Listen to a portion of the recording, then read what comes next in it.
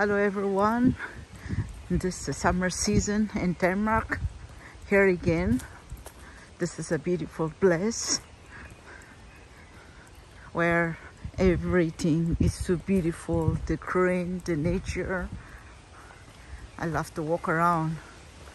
And here I want to encourage you today that allow God's love in our life and see the goodness in our life and focus on our Lord Jesus Christ. He will do mighty things. He will bless and you feel like very difficult in your life, challenges in your life.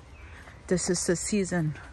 Turn back to Jesus and thankful and pray and allow Jesus in your heart and he will make everything beautiful in your life. So in this summer, don't give up your fight. In this summer, go forward, inspire and see what God will do in your life.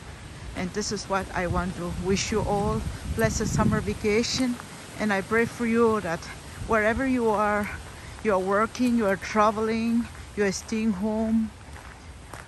I pray for you all that God will bless you and God will protect you, God will strengthen you, and He will lift you up in a wonderful way.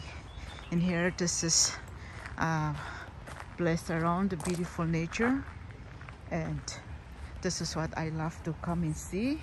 I think this is a wheat in the farm. You see beautiful things is coming up. And this is the way God will do beautiful things in your life and never give up. Go for it. The days are coming that our heavenly father is going to bless you strengthen you. Blessed summer